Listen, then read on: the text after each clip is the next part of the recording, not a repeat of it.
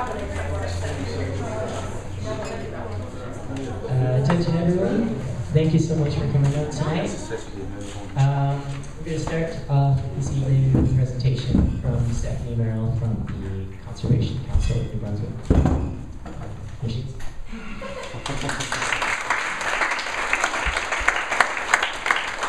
Thank you for inviting me to, to come down. Sorry I'm late.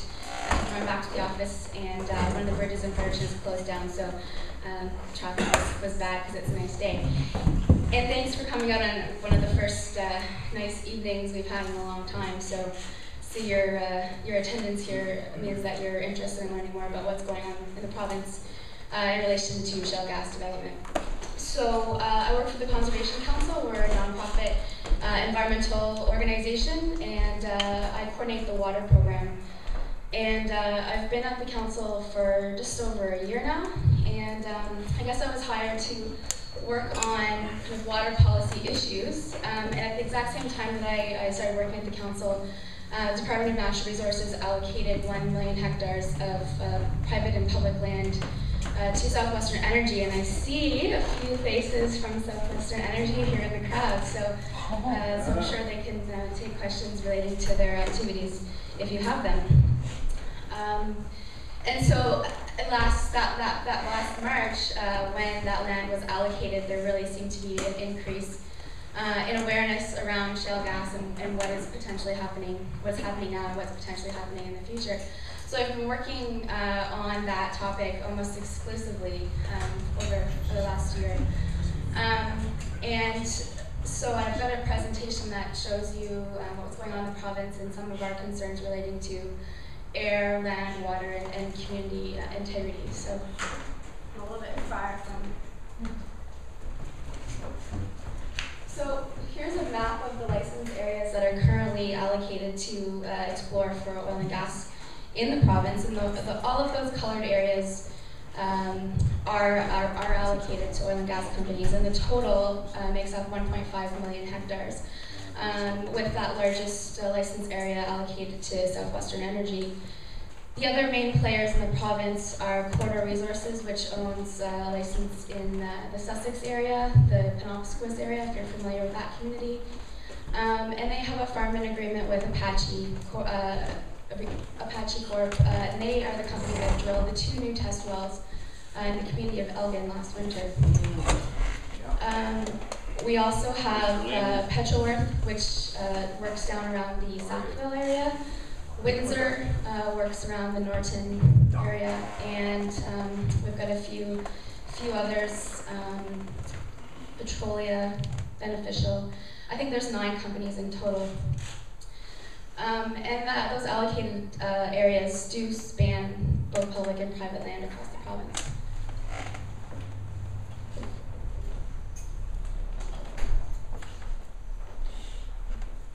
So, so all the companies are at different stages of their exploration programs. Um, so, for example, Corridor Resources has actually been producing natural gas in New Brunswick since about 2007. Um, so that's the that's the company that works uh, just outside of Sussex and, and Penobsquis, and you may have heard about this community. Most recently, they're currently uh, this week actually in uh, in front of the mining commissioner, um, fighting for compensation from uh, Potash Corporation, uh, who actually has a partnership with Corridor Resources, the gas company. Um, they had uh, some issues in that community with loss of water, um, some issues with uh, foundations and housing due to subsidence in the community. I'll, I'll, go through that a little bit later. Um, Southwestern, Windsor, Windsor, Petroworth, um, these companies are kind of starting their second of their three-year exploration um, programs in New Brunswick. Um, and so, so that three years, they have to spend a certain amount of money to search the, the license that they've been given from the Department of Natural Resources. So, uh, so for example, last summer uh, there was some airborne magnetic surveys across the province.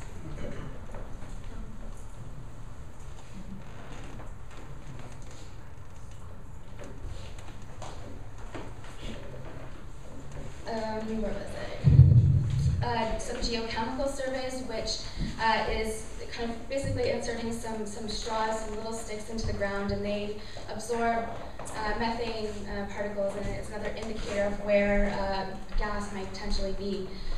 Um, and then, of course, I don't, I don't know if you, if anybody's heard, but um, the latest uh, in that exploration program is the seismic program. So uh, a lot of communities now are seeing um, industry make face in communities, asking for contracts to cross uh, private land for seismic lines. Um, in seismic, I have some diagrams about what exactly it is, but it's just basically a program that allows them to hone in better on where the actual um, geology that houses the, the, the, gas that they're looking for uh, a bit easier.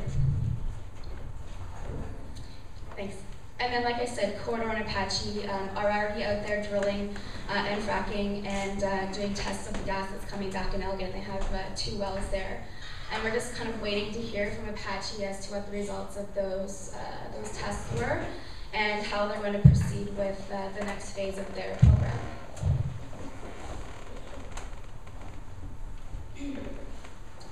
So, so like I said, we're really seeing uh, the increase in the seismic programs right now. Um, uh, the last thing I heard was that there are three seismic lines that are uh, originating in the uh, area and running, running north towards Miramichi. I don't know exactly uh, where those lines run, but um, there's around 3,000 landowners that uh, that potentially affects. So, so seismic imagery, imaging basically creates seismic waves that, uh, that are created by blasting off dynamite or by uh, driving thumper trucks along highways and, and slamming, slamming the road systems, creating seismic waves that um, go down to the geology, they bounce off that geology come back to the surface and are received by technology that allows uh, the company to analyze the data and figure out what exactly that geology looks like. And of course, they're looking for specific geology, the shale plays that will um, produce the most lucrative uh, gas that they're searching for. So this is just an image of what kind of what's going on under the under the ground.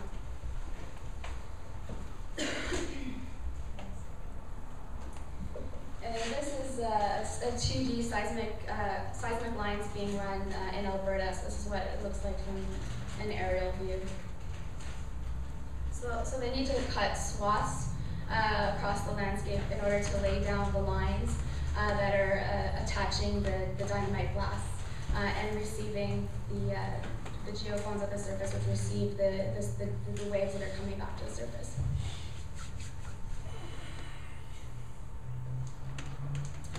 So the community of Penobsquis, I mentioned, um, has been through a lot over the last um, 10 years or so, maybe longer, um, and they're in front of the mining commissioner uh, it's a very kind of complicated story to tell the community of Penobsquis because they are home to two large industries. They're home to Potash Corporation and Corridor Resources, and as I mentioned, they are also partners. Um, and so uh, the, the community is um, claiming that activities from both uh, from both potash and from uh, natural gas exploration and production has um, has affected them greatly, and um, specifically the seismic program uh, that Potash Corporation went through. Um, so people in that community felt the ground shaking and the house shaking while that program was being implemented.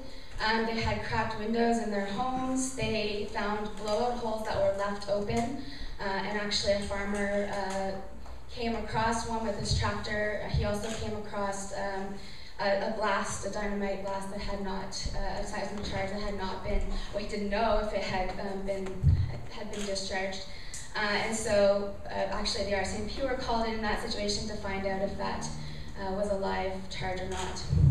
I don't, I don't believe it was in the end. Um, but I can imagine what that farmer felt like when they, when he rolled up on top of a, a seismic charge. Um, the, so and the, and the ground is subsiding in the community of Penobsquis. Um, so the, the land is settling. Their homes are of sinking into the ground. The, the foundations, their houses are being affected. Um, and also, immediately after the seismic program, uh,